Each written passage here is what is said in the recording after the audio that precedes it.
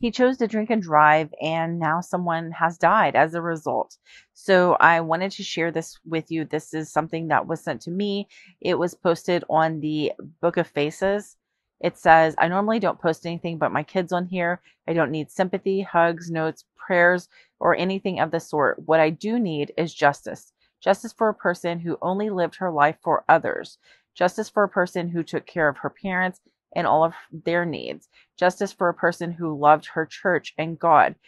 Justice for a person who went to work every day at Arkansas Children's Hospital and took the absolute best care of those babies as anyone I ever knew. Jennifer Morton was her name. She was 48 years old when she was on her way to work as usual.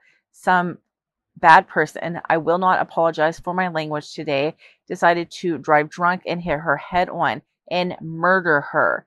It was not a tragic accident or a misfortune. It was murder because he didn't accidentally take a drink.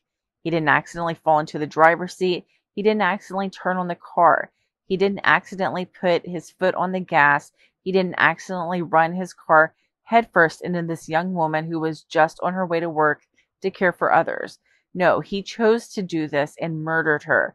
Of course, he is fine and alive and was even well enough to run from the scene low life POS. People who drink and drive deserve punishment, not second, third, fourth chances to get it right next time because there may or may not be a next time for someone's family, friend, coworkers. So I hope this finds someone and they think twice about drinking and driving because you are ruining someone else's life.